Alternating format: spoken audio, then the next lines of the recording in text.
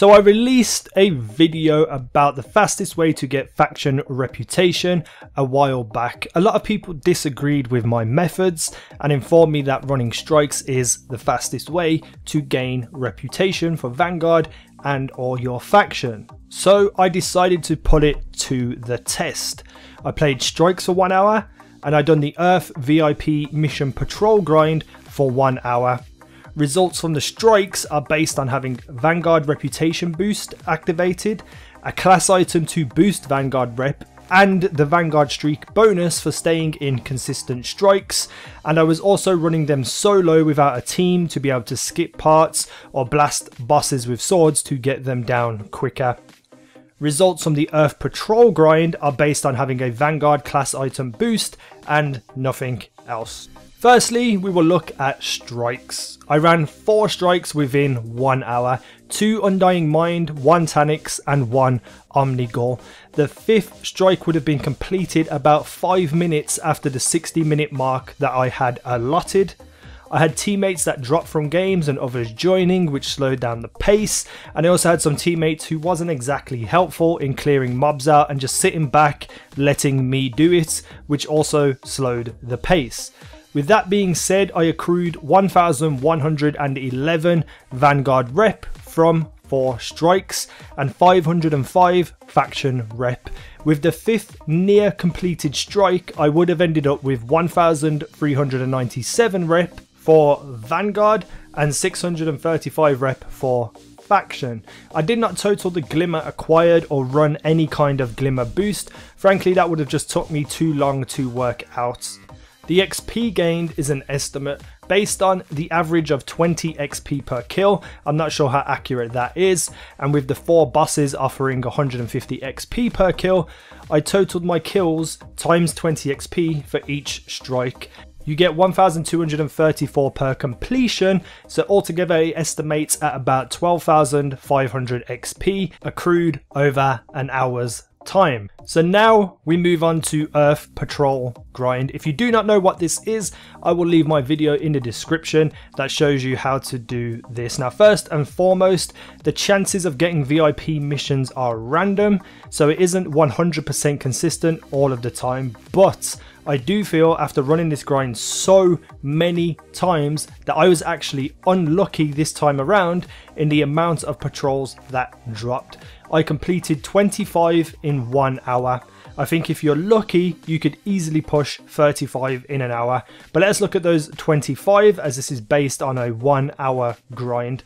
In terms of reputation, for Vanguard, I received 1,375 rep, and for my faction, 625 rep. So for the Vanguard, you get 55 rep per actual completion of a VIP mission, and you get 25 faction rep for completion too. Notice that both of these amounts in total are higher than the 4 strikes that I had completed in the same hours grind. And me feeling that it's actually unlucky to only get 25 patrol missions you could quite easily dominate in the amount of reputation gained if you are lucky enough to push those 35 patrol mission marks, which is very doable because I've done it before. Even with the fifth strike that would have been completed in the next 5 minutes, I feel that when you're lucky with the Earth Patrol grind, you will still outdo anything you can do in strikes as a solo player. However, this is solely about the 60 minutes of testing, so the patrol missions definitely edged out the strikes in terms of reputation. Now for Glimmer, as an added bonus, you will receive 500 Glimmer per VIP patrol mission, which gave me 12,500 Glimmer just for doing this grind. XP gain was around about 700 XP per VIP kill, estimating a 17,500 XP gain, which is also higher than the estimated strikes amounts. Now each of them have their benefits. For instance, the strikes, I found it a huge, huge benefit for the amount of engrams gained and possible legendaries of course, and on top of that you can use Three of Coins to possibly get some exotic engrams, which is very, very helpful if you're trying to get new weapons and new armors and rank up your Cryptarch. So that definitely crushes the VIP missions in terms of engrams. So if you're looking for reputation and you're looking for engrams, strikes is the way to go. For patrol, the massive benefit was a high glimmer gain. So if you're looking for reputation and glimmer, I would go the patrol way. And also with the patrols, you don't have to put as much effort into getting it completed. I was watching a TV program for 45 minutes of that 60 minutes, and I was eating my dinner at the same time, and I still didn't slow down or do anything wrong because it is just so easy. So if you were playing solo, I believe that in the long run, let's say over months and months of time, the strikes will probably outdo the VIP missions due to the consistent, guaranteed reputation gain. However, if you get lucky on a regular basis, in the short term, let's say 3 to 5 hours of grind, the patrol missions will beat out the strikes very, very easily. But it all depends on RNG and luck when it comes to the patrol missions. VIP missions do fall a lot more often in comparison to Destiny Past, so it's definitely worth a look into grinding these out.